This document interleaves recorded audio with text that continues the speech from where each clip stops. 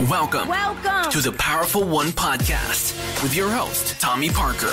This college dropout turned entrepreneur and high performance coach created Powerful One. One. With the mission of sharing the stories of individuals who have divided from conformity and redefined success in their own terms. Join us as we dive into the incredible stories and journeys of becoming truly powerful. Welcome to the Powerful One podcast, everybody. I'm your host, Tommie Parker, and today I am joined by Nasia Bacchus. But before we get into the episode with Nasia Bacchus of the Powerful One podcast, I just wanted to remind you guys about the Powered Up party that is going down Friday, March 26th at 5:15 p.m. It is 2 weeks from today.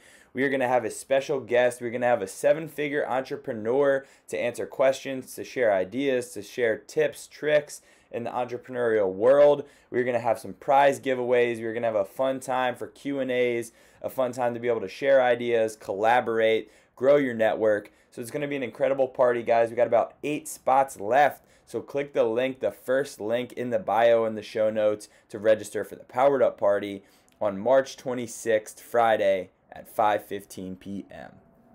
And without further ado, let's get into the podcast with Nas Bacchus.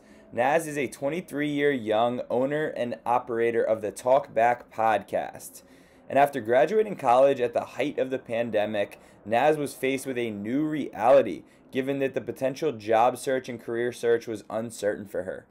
After encountering a near life and death hospitalization, Nas had a deep look at her life and had truly been wondering if she was living in an impactful way. She quickly understood that there was more to life than running from one thing to the next, so she created the Talk Bacc podcast. Going from a girl who was very shy and by the book, Nas started her podcast to encourage people to fearlessly embrace themselves and to remember how lucky we all are despite what the world may look like. Now she is talking back to societal norms and expectations to help people step powerfully into who they truly are and want to be. And in today's episode, we talk about Nas's podcast, Talk Bacc. We talk about her crazy hospitalization encounter that forced her to wake up and take control of her life, using your gifts and love to serve others, shifting your identity.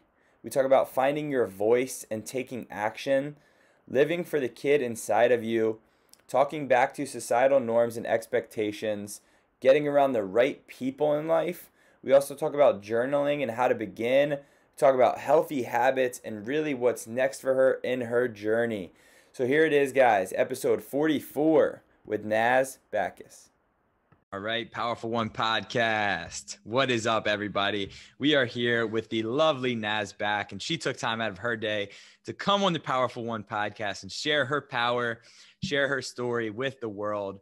Because we are a worldwide podcast. If you didn't know, go subscribe on YouTube, go subscribe on Apple Music, and make sure you write us a review because we are a worldwide podcast. But anyway, nonetheless, Nas Bacc, how are you? I'm good, Tommie. Thank you for having me on the show. Thank you for being on the show. So excited.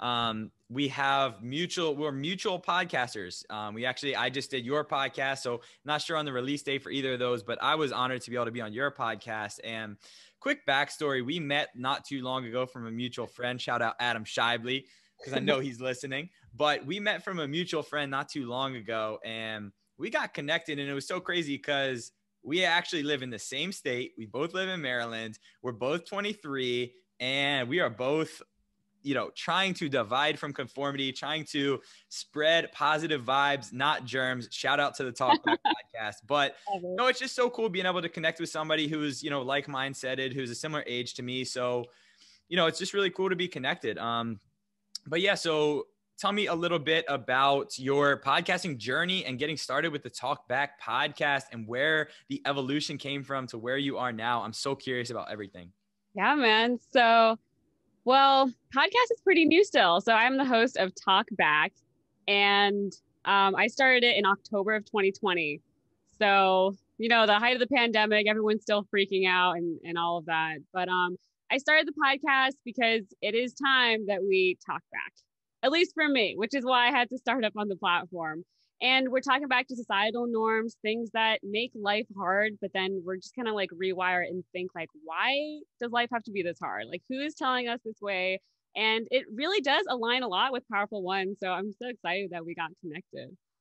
Yeah. And I want you to talk a little bit more about the overall message of Talk Bacc and just like the the direction, how aligned they are. But you know, talk a little bit more about what are some of the stuff you want to talk back against, what specifically you've talked back against in the podcast, and then we'll get into kind of your podcasting journey and how you you know why you wanted to start the podcast. I mean you really did come into it at a great time being that it was the pandemic people are looking for you know a different alternative to some stimulus. It's not outdoors not with people. So yeah if you don't mind just talk a little bit about that um, just a little bit more extensive about what you're trying to really bring to talk back and as it you know relates to powerful one as well and then also just you know getting started in that journey okay so i think we'll start with the journey and and why why did i pick up the mic so the I guess the quote unquote sob story, which is actually one of the greatest stories, is in September of 2020. So a month before I started it, I just have this crazy like hospitalization. It wasn't from COVID, if anyone's asking, but um it it was like this weird like migraine head pain thing that I had and like I couldn't move my neck. I couldn't I could like barely walk. Like it was really scary and it just came out of nowhere and I'm like in and out of the hospital for a week. And the best thing that's making me feel good is like morphine getting pumped into me every so often. And it's it was so scary because like at the time I'm 22. It was only last year, and and I remember like being in the hospital like okay, what actually did I do from this moment? Like, if it was lights out, like it, w- it was that bad that I'm like thinking that big reflective thing. So if it was lights out for me right now, what did I do? What did I offer the world? Who did I, who did I help? And then you really kind of think of like the legacy that you want to leave behind. And I didn't do anything wrong per se. Like I followed the school system. I just graduated college in May of 2019 and and I felt good, but then when you think like if that's it for your life, you're like, but that's all I did. I like I filled my head up with all this knowledge I didn't even get to apply yet. But the main thing that was like kicking me in the stomach was like I I didn't help anyone. Like what did I do? I just I just didn't feel like I helped enough. And crazy like after um that whole thing and like it took like a month of recovery cuz I even had to get like a little surgery done and like I was rocking like a Skrillex look on the side of my head for a little bit, but you know, I thought it was cool. I'm just kind of owning it and um, I got into like volunteering more, and it just this like crazy thing that that happened to me was almost one of the best things to happen to me because I feel like it just aligned me with what I knew I wanted to do. So in the pandemic, like how much you want to see people and help them, but then you're like, okay, we're out of quarantine or whatever you got to do. So podcasting really allows me to connect with a lot of great people, link with you, Tommie. Like it's just, it's so cool, like the platform and what it can do. And um, so I picked it up and that's how I started talk back and I was like I'm going to do this for me uh, because it's what I want to do but it's for people. Like I think that's how like the world goes round is like when you're doing something for others and you serve them it's it's not just like a solo solo thing. So I'm just hoping that people kind of um they they enjoy it. I think i'm funny sometimes. I don't know tom you tell me. No yeah you you have a really great i mean guy if, if you ever listen to this and you're not familiar with her, with naz's podcast go listen to it because talk back she brings a lot of good energy. She's a really good podcast host and she, does have a very funny witty sense of humor personality. So it's it's really an awesome platform that you've created. And you know when I first kind of heard about it and heard about you, I was like, whoa, she's only been doing this five months. And so what I want to just track back real quick to to you really like having that deep inflection point. I think when I look at the parallels between my story and your story, the real key of of waking up, so to speak, is this kind of deep inflection point where you realize like, wow, I've been living a life that you know, while it may have been good, is not really a life that's been fulfilling and there's no impact and there's something missing essentially. And so I want you to talk a little bit more about how, you know, that experience led to the podcasting and why you really chose podcasting and and how to like find that for somebody. So for people who have this deep inflection point, who who know they want something else in life, like what did that look like for you in terms of being able to pick up the mic and know that this was a direction that you wanted to go in? It's funny. Like the way I think about it, I'm like, I'm in the hospital room and the Grim Reaper is like handing me a mic. It was like, you, this is it. It's, and like that's i don't mean to freak people out by it but it's like at one point in your life like you almost have to get scared or like shoved into doing the thing that's going to make you really happy and and I always loved radio. Like since like middle school, I'd listen to 99.5 with the Kane show and they have these cool segments of like War and the Roses and all of this. So I it's funny because when I really got into it, I was like, I actually liked radio and and the whole like platform um, before like podcasting was really a thing. So, and I've been planning to do the podcast for like since college, but I just never like I never did it. And and it took like this this whole shift of being like, well, if I was gonna tap out now, like what it like just what happens? Because the thing like you don't have to look at like death almost as like a bad thing but if you really think your life is going to end and like and if you really just take that in the forefront it's going to gauge like how you're going to make your next steps and they'll make it it'll be that much more impactful for yourself and for the people around you. Um so it's always just having like the bigger picture and like the end the end in mind but um to use it for like positive stuff. I, I really like that and and you know i say it all the time if you're somebody who's very afraid of death and you're somebody who doesn't really think about death, it's probably because you've never truly lived. And I say that with all respect and all sincerity, but knowing the fact and knowing that, you know, the truth is 99% of people will be asleep their whole life. They might be alive, but they're not actually living, or they might be living, but they're not actually alive, right? Like there's, they're just kind of going through the motions of the day to day. So I think to have that, that kind of, you know, face to face with the Grim Reaper experience, it really puts into perspective like, wow, I can die at any moment. It's not morbid, it's reality. We are we are mortal beings, right? We have an end point and we have a beginning point and we don't know when that is. So to be able to think about death as a motivator, I think is something that you know, as we talk about some of the stuff in, in conformity that we want to change, that's something that I want to change. I want to look at a calendar every day that shows how many days I have left to live, ideally. And that could be cut short at any moment, right? So for you going off that, like I'm curious, you know, when you said that this inspiration for the mic and, you know, the direction for the podcast, how did you align something you liked with something that you knew could serve people? And how did you get out of, and I actually want to reframe the question. Basically, you know, you said you wanted to start this podcast before, and then you ended up starting the podcast. So obviously there was this barrier that didn't let you start it before. What changed after the fact where you're like, I'm just going to start this podcast regardless? What really changed in your mindset to spark that? Yeah, that's a great question. Um, because I think when I'm in college, when I'm thinking about ideas for the podcast, it'd be like, oh, like me and my girls, we can talk and it's like this fun, which is fine. And I, I listen to those kind of podcasts all the time. Don't even get me wrong. But I knew when after that whole situation that happened, talk back, which so back is B, spelled B A C C, which is kind of like a sliced my name in half. But it was like like i'm like i'm gonna speak up now because i think in school i had this narrative of like the quiet smart girl and that's fine like yeah i don't really talk unless i'm being spoken to and yeah i'm smart but it's funny because you almost look like i did at least as like that was like a bad thing and and i think it was just I like that whole reflection of going throughout school, what people used to think of me, and then how I viewed myself.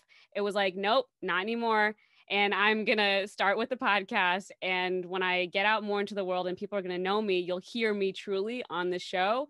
And it's to uplift everyone else's voice. Like we are talking back together. It's the Talk Bacc fam because like you can't do life alone and it's hard and that's exactly why platforms like mine like hopefully is can be inspiration to people um and that's that's part of the serving like i want to be able to serve people in that way so i hope i hope it does Yeah, absolutely. I want to talk back a little bit more, and I think it's awesome what you're doing with your platform. But I want to talk a little bit more about the person you used to be versus the person that you are now and the person you're becoming, and how much of a difference you see in terms of that. You mentioned you were kind of like this, um, like more quiet, like schoolgirl who focused a lot on school. You kind of like, you know, went by the books and you focused a lot on that.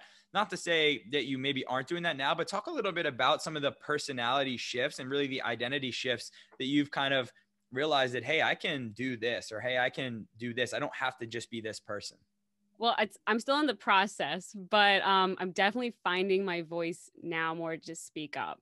And especially being a woman in any like career space like that's completely understandable. Like it's hard to break in especially in male dominated fields and even podcasting is still. So it's it's more like like I, I was just like all right like i'm gonna do it. Like i'm just gonna start speaking up. And and that was the main shift because i think like so much would happen in my head and i would just keep it there.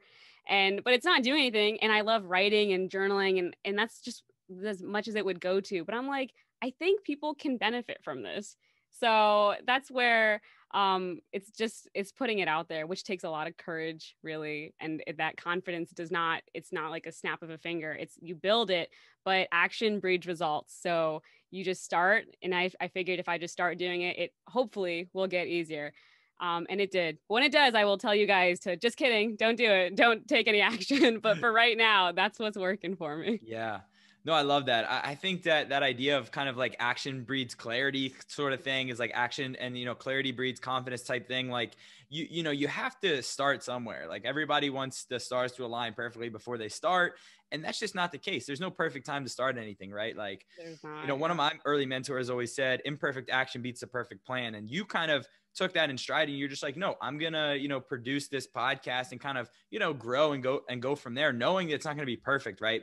But I'm really curious behind, you know, obviously if, if you're listening right now, like there's not a lot of money in podcasting when you're starting up and there's not a lot of, you know, it's a saturated environment. It's a saturated market. A lot of people have podcasts. So, but with that said, it's still such a, a beautiful thing because anybody can podcast. And the fact that you've already made it, you know, five months in your journey, most podcasters only make it three to four episodes. So you're already so far ahead of the curve. But I'm curious, like, what do you equivalent the longevity to in terms of being able to podcast? It seems like you have a great mix of passion and then also a desire for wanting to help people. So, what is the formula you've found to keep sticking out the podcast, given that it's a saturated market and given that there's not a lot of money to be made early on?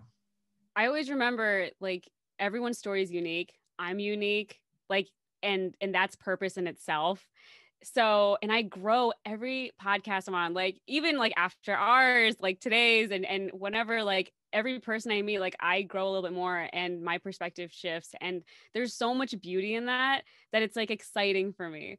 And you know and even when starting i'm like what if this only goes for like a couple months? What if i give up? And those what ifs will kill any dream like mm. seriously for anyone. So um but that's where i guess because it's hard to have passion like 24 7 like something has to fuel it but this curiosity of figuring out myself and also being able to like serve other people and and meeting so many people through it like i think that's what that's what keeps me fueled and and excited to keep going with it.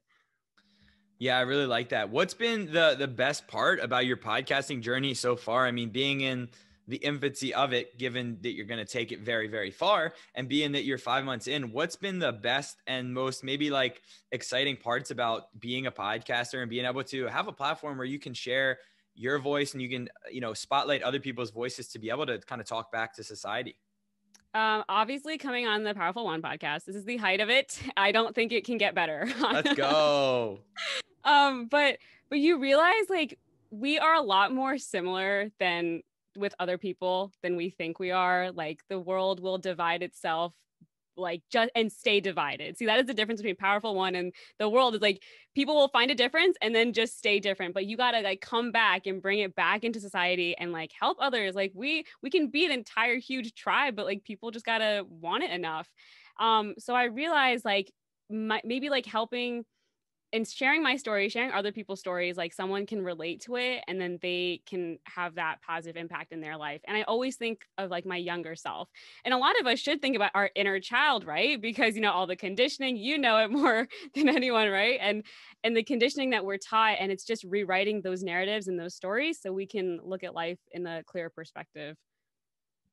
I really love that. Talk more about that aspect because I, I really relate to you on that. Um, you know, part of my mission statement for myself is, you know, I want to live like the kid inside of me doing what I love every day. Because when you look at kids and like they're just free spirit and they're always happy and they're always just doing what they want when they want. They don't care what people think about them. They have this like free free will and free spirit. Talk a little bit more about what that means to you to be able to live like the kid inside of you and kind of, you know, embody that that pureness and that wholeness that kids have. Yeah, like I, I always think of 12 year old Nas and I'm like, is she going to be happy with who you are now? And I think she'd be like really surprised, but would love who I am. She's like, you, you did it. Like you're talking and people are hearing you. Like that's crazy. Wow. And those narratives, and it's not sob story but like you know the bullying and everything happens in in middle school and leads into high school and then the confidence shift like for me personally like that's where i don't think like confidence of how i looked like that was a main thing. I know for women they they have that a lot and one of my episodes i talked about was body neutrality and how your appearance is not equal to your self-worth but i think a lot of times social media will make us think that it is and and just in general and people and it's like why? And especially if you went through any bullying phase for how you looked or anything like yeah i'm rocking the glasses i will never take them off i refuse to wear contacts and the braces and all that but it's like and it it did take a hit to the confidence so it's like rebuilding all of that um past high school and into college and out of college. And then when I had that whole like hospital thing, you're like, like that was it's like all of that started coming back. And it was like, wait, I have been living someone else's life. It doesn't have to be like this. That's years ago. Mm. Um, I'll still take care of 12 year old Nas. Like, don't worry, just come with me on this journey, but like, trust me. And it's almost like just learning to trust myself that like I know what I'm doing and I have good, pure intentions, which is so important. Like, I don't think any of us can do anything in life that's impactful if we don't have the purest of intentions. So, and before you start something, like you make your intention and and then you just go for it.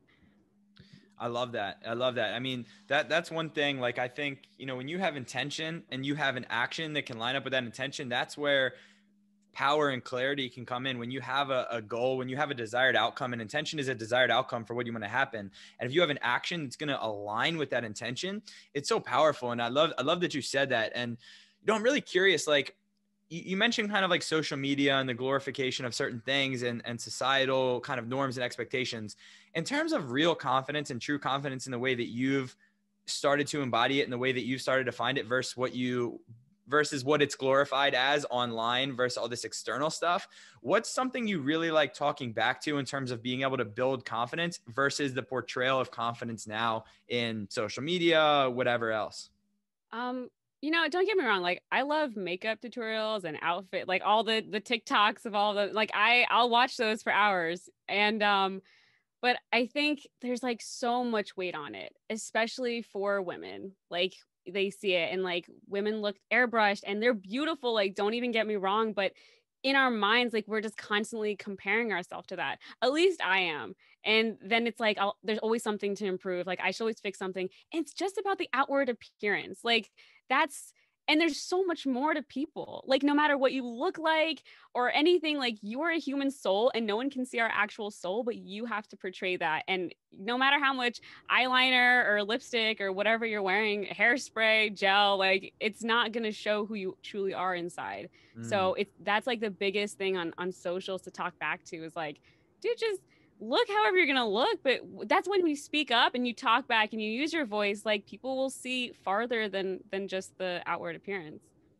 I really love that. That that's really good. Like how how can people listening right now let's say somebody is in a similar spot with you right? Like i know we've talked about awareness before. I'm big on awareness. Let's say somebody does have a deep inflection point and they have this awareness and they realize that the life they've been living to this point is maybe not the life they want to live. What's a good next step for that person to be able to you know, start to become the person they want to be or start to do the things they want to do or have the things they want to have. Like once people get that awareness, like what, what direction do you think is a really positive direction to go in next? Like how do they find that thing or how do they find themselves um, and, and that sort of thing? I think first you can always lean into if anyone ever told you what something that you did was weird, like go hard into that and think about all right, they said this thing was weird, but why did I like it so much? Anything that made you smile, like that's your thing, man. Like you just got to go after it and and love that. Um and another thing is like you know, obviously podcasts, um, but educating yourself through books, especially like um, I remember one of my teachers in high school recommended the Outliers book by Malcolm Gladwell, and I'm now reading Blink by him too. Like just opening your mind to there are like-minded people and you realize like you you we feel so alone when we want to be ourselves but there's actually a lot of people who are like pushing for authenticity and individuality so you just got to like do some searching and enjoy the process while you're at it but um it's educating yourself and leaning into things that you truly truly love. Yeah i really like that it's almost like I, I, like the idea of kind of taking inventory on everything, like taking inventory on, you know, yourself in the past. Like, what did you used to enjoy? Taking inventory, you know, something you said there is like the people around you. So I want to get into that. Like, in terms of taking inventory on the people around you, how did you personally kind of judge that? Because we, we do know that like our relationships and our alignments create our assignments. Like, the people that you are around are going to create ultimately who you become. And so, how have you put yourself in positions as you've kind of taken inventory and realized you've wanted something different? What are what are the alignments and the relationships that you've been able to build to kind of help you you know do the path you want to do and, and kind of be the person you want to be? Well it's funny because so after college um so that was like may 2019 and then not a year out there's the pandemic and i think a lot of people were sitting with their own thoughts. Like we were kind of all forced into that but like some people are going to lean into it more than others. And um you know as as friends because like we all come from everywhere and go to college and then when everyone spreads out like it already started getting a little quiet in my own head uh, because like friends were so far. So it's not noise but like if you want to call it noise it's just you're you're just you have to like you have to quiet down. Like you have to get into a space where you're not really listening to to people and even if it's your friends like take that time for yourself and just really get into your thoughts um and i'm like super big on journaling. Like i know when when i tell people to journal they think of like a pink diary and it's like no relax like it can be anything. It's a pen and paper. Go get like the feather pens that like shakespeare used to use. I don't know like just and just write down what you think and, and bring that out into the physical world and i think you just really are able to get in touch with yourself when you can see your own thoughts. And I know teachers like always say write down notes, so it has to work for us when we're trying to reflect, right? That's so good. Talk about what journaling looks like for you because when I began my journaling journey, I was so intimidated because I didn't know where to start.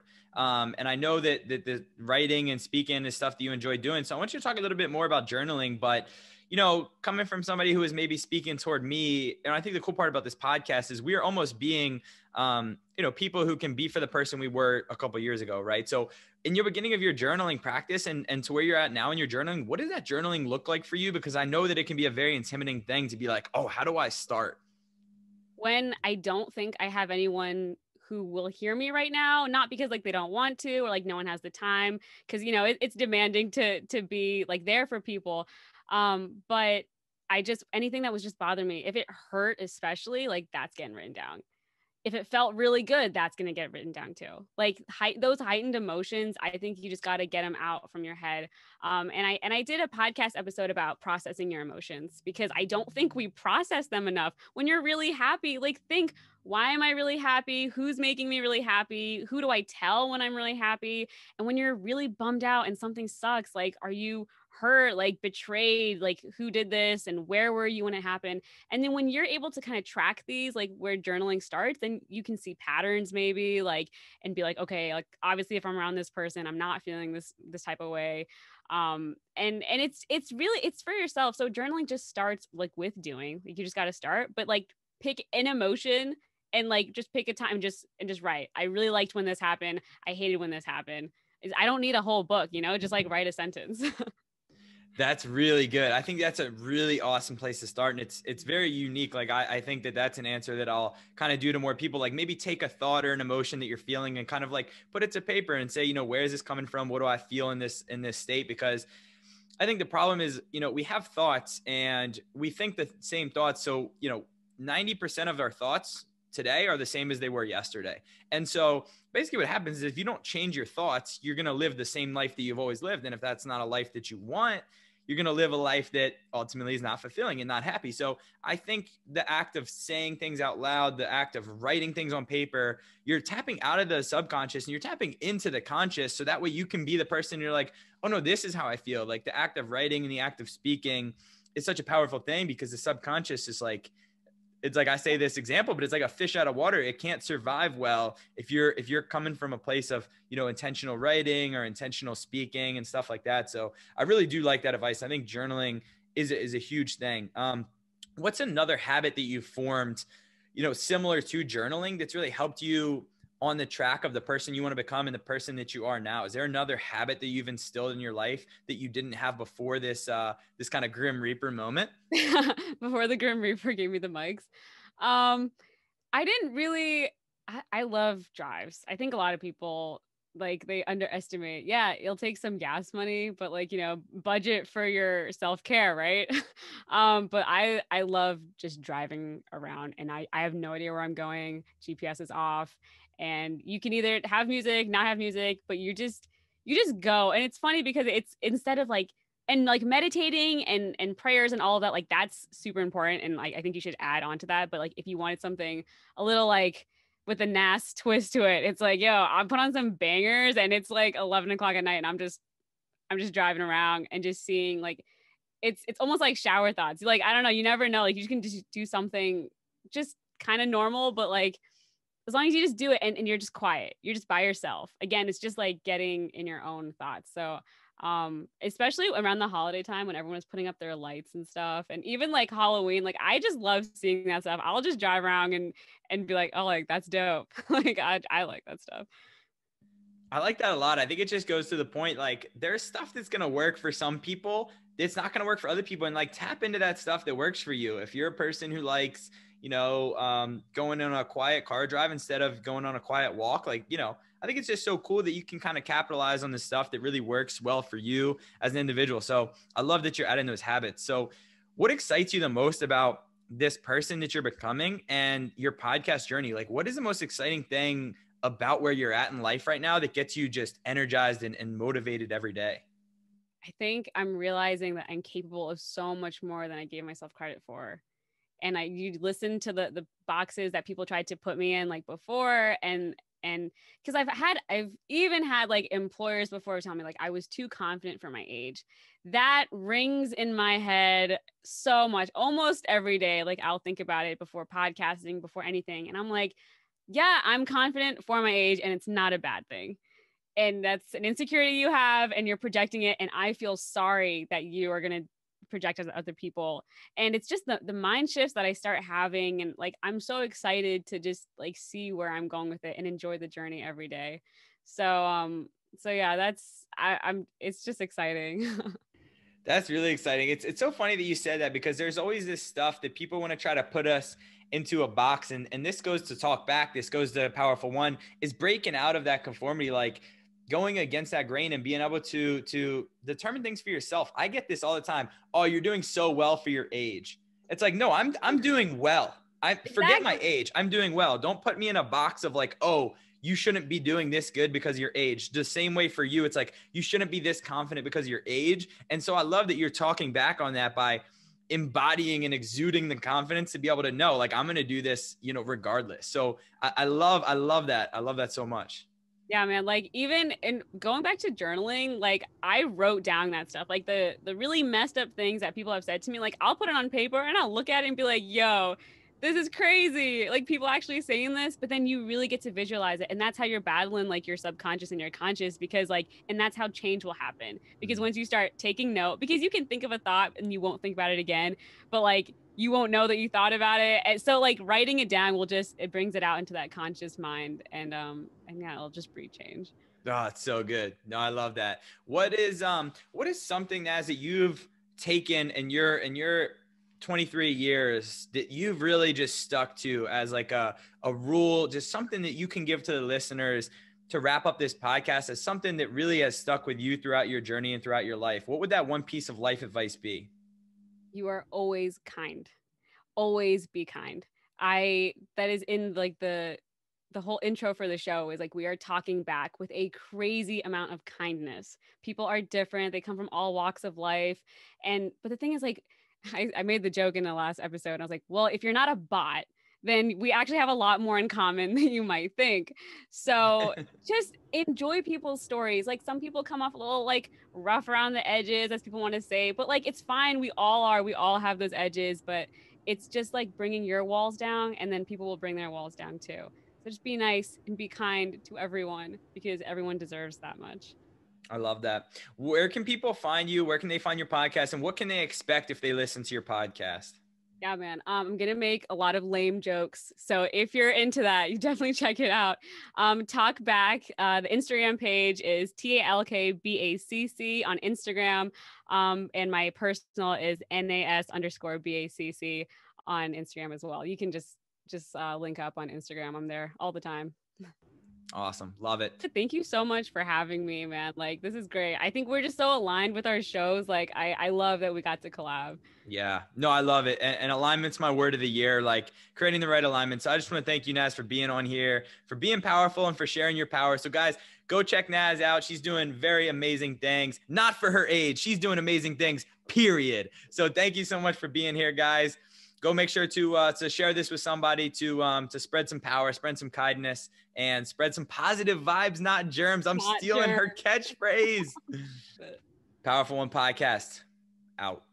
So thank you guys so much for making it to the end. I really appreciate your support, not only for me, not only for Powerful One, but also all the guests on this on this uh, platform and just tuning in and being inspired and, and stay, being powerful, man. So, you know, thank you again if you watched this and, you know, excited for the future. Excited. It's been a great year for Powerful One. Excited for everything I have coming in the future, everything with the brand, everything with my personal brand, and just everything in general. So, just want to thank you guys again and be sure to, you know, share this if, if it inspired you, if it felt powerful, if you connected with it, share it with your friends, share the platform. Um, please go, if you don't mind, go subscribe on YouTube go write a review on iTunes. All that stuff really means a lot. Thank you guys again, and be sure to stay tuned because every week we are coming out with a new podcast episode. Stay locked into the page, guys. Thank you. Stay powerful.